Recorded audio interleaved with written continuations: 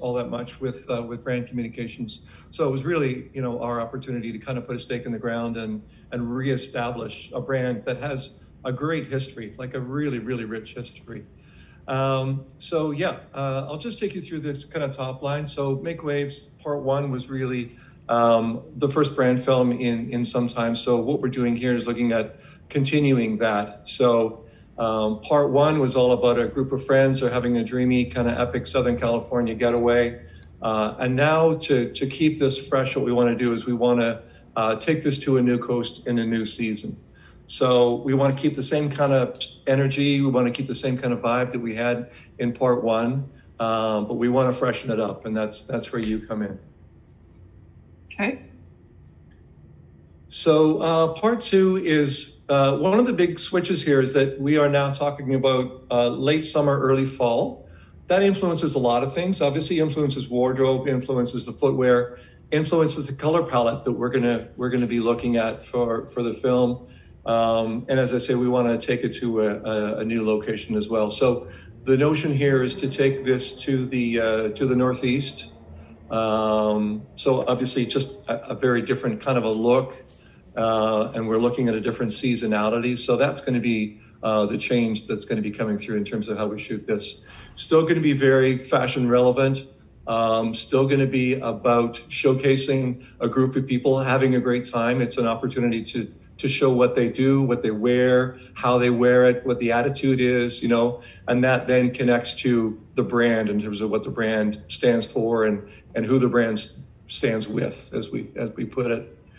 So the deliverables here um, are going to be uh, one 30 second video, um, two 15 second cut downs, and four to six uh, six second cut downs. So we are hoping we can also find a way to get stills on the day because stills are such a great thing for us to have for you know for social and for lots of other applications. Um, so we're going to see if we can we can work that in in some way as well. Uh, yeah, so here's the strategy. So um, uh, Sperry is a brand that was born on the water. Sperry is the originator of the first boat shoe. So we feel it's our obligation to expand the story of coastal culture and invite the whole world to em- embrace its broadening definition. So we want Sperry to be the driving force behind creating and articulating the next chapter in this coastal story, inviting anchored optimists, that's our, our key target, and the world at large to experience all its dimensions. So really, you know, this is all about being close to the water, being on the water, being in the water. It's a celebration of water and and the the connection between uh, between people and the water, which is just you know undeniably strong. So then we get into some scripts and some visual direction. So if you uh, if you saw uh, part one, then here's really you know, our vision for how we pivot to uh, to part two. We're calling this late summer haze.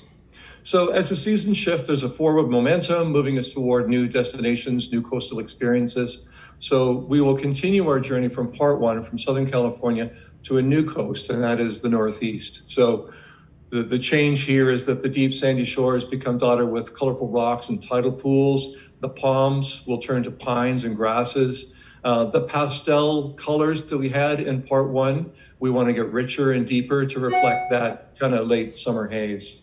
So what happens in terms of the action is our models enjoy late afternoon swims when the sun hangs high, uh, early evening bonfires by the shore, um, and then we're going to actually take them into into town for for something to eat. Gives them an opportunity and a reason to get a little bit more dressed up.